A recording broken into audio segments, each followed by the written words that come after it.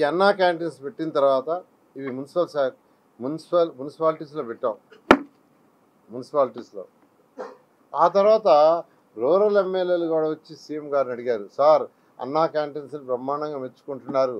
పేదలు నిరుపేదలు చాలా చక్కగా ఆ, భోజనం చేస్తున్నారు. ఎంతో ఆనందం వాళ్ళ కళ్ళలో ఎంతో ఆనందం పడుతుంది మాకు కూడా పెట్టమంటే ఆ రోజు ముఖ్యమంత్రి గారు మరొక నూట యాభై అన్నా క్యాంటీన్స్ రూరల్ ఏరియాలో కూడా పెట్టమని చెప్పడం జరిగింది.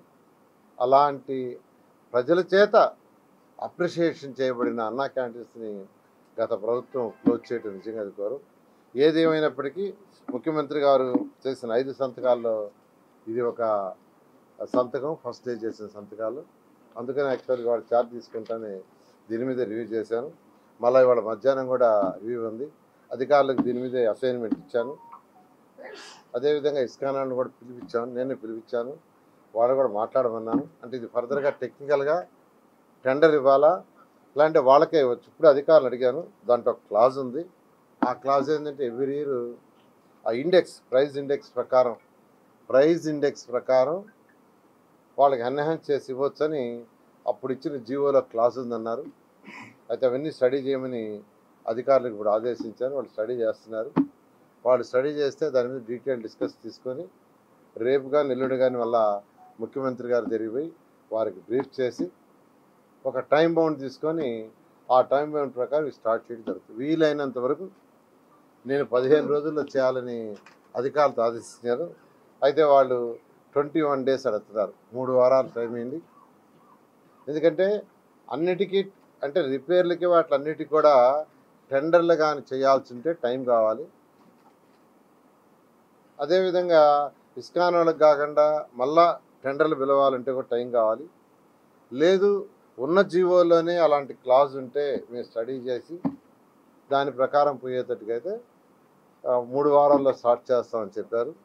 ఏదేమైనప్పటికీ ఎల్లుండికి ఒక క్లారిటీ అంటే రేపు వాళ్ళ దగ్గర బ్రీఫ్ తీసుకొని సీఎం గారికి ప్రజెంట్ చేసి ఫైనల్గా సీఎం గారి యొక్క డెసిషన్ తీసుకొని ముందుకు పోవటం జరుగుతుంది. ఆల్టర్నేట్ సచివాలయాలు పెట్టి వాటిలన్నిటి అన్నా క్యాంటీన్స్ తీసుకోవాలి ఎందుకంటే అన్నా క్యాంటీన్స్ డిజైన్ చేసింది వీటి కోసం చేసాం. ఇది కంఫర్టబుల్గా ఆడ టేబుల్స్ మీద కూర్చొని తినడానికి వాటర్ వాషింగ్ అంతా అని. అందులో వీటిని అన్నా క్యాంటీన్స్గా వాడతాం. సచివాలయ వాటికి వేరే ప్లేస్లో అరేంజ్ చేస్తాం. మెనూ కాస్ట్ ఫైవ్ రూపీస్ ఉంటుందండి పర్సన్ మూడు వారాలు స్టేట్ వైడ్గా అన్న క్యాంటీన్లు ఆ మూడు వారాల్లో state wide Anna canteens start చేస్తాం. అయితే ఇస్కాన్ వాళ్ళు అన్నది ఏంటంటే మాకే ఇచ్చేటట్టుకైతే మేము వంద స్టార్ట్ చేస్తాం సార్ మూడు వారాల్లో. ఎందుకంటే వాళ్ళ సెంట్రలైజ్డ్ కిచెన్స్ ఏవైతే ఉన్నాయో కొన్ని క్లోజ్ చేసేసాం. అసలు రన్నింగ్ లేవు. దానికి కావాల్సింది మళ్ళీ అంటే దానికి ఉన్న ఎక్విప్మెంట్ వేరే దగ్గర షిఫ్ట్ చేసుకున్నాం వేరే రాష్ట్రాలకు అవి కూడా వేరే రాష్ట్రాలకు తరలిపోయినాయి. వేరే రాష్ట్రాలకు తరలిపోయినాయి.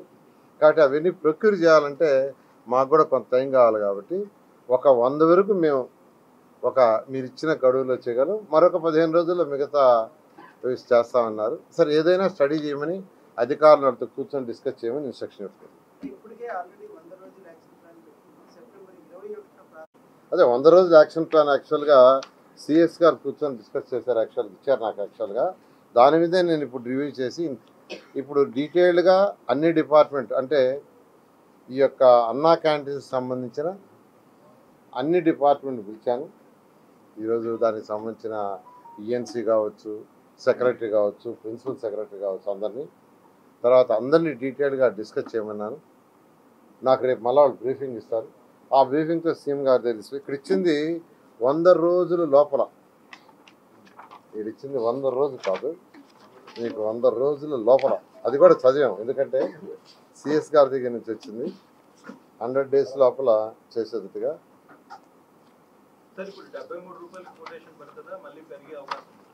అది యాక్చువల్గా అందుకని యాక్చువల్గా దాని మీదే ఇవాళ ఇస్కానం గురించి మాట్లాడామండి.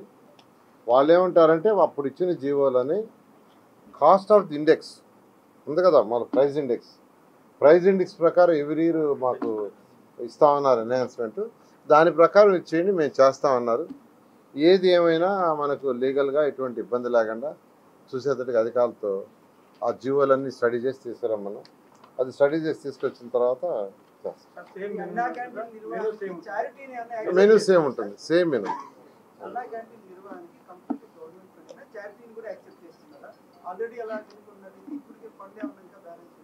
అంటే ప్రస్తుతం అయితే last time two hundred crores యాక్చువల్గా బడ్జెట్లో శాంక్షన్ చేశారండి. లాస్ట్ టైం అప్పుడు టూ హండ్రెడ్ క్రోర్స్ శాంక్షన్ చేసాం సీఎం గారితో కూర్చొని డిస్కస్ చేస్తాం?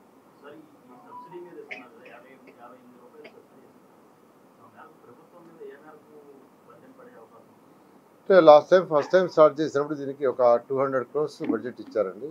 అందులో నలభై రెండు కోట్లు అంటే ఈచ్ ఈచ్ అన్నా క్యాంటీన్ కట్టడానికి నలభై రెండు లక్షలు అయింది ఫార్టీ టూ ల్యాక్స్. సరే ఫార్టీ మొత్తం టోటల్గా దాంట్లోనే కన్స్ట్రక్షన్కి ఇచ్చారు. కన్స్ట్రక్షన్కి తర్వాత దాంట్లోనే యాక్చువల్ రన్నింగ్ కూడా ఇచ్చారు. అయితే ఎంతమంది తింటారనే దాన్ని బట్టి యాక్చువల్గా రన్నింగ్ పెంచుతా ఉన్నారు ఇప్పుడు యాక్చువల్గా ఏంటంటే మళ్ళీ దాని మీద బడ్జెట్ తీసుకుని ముందుకు పోవటం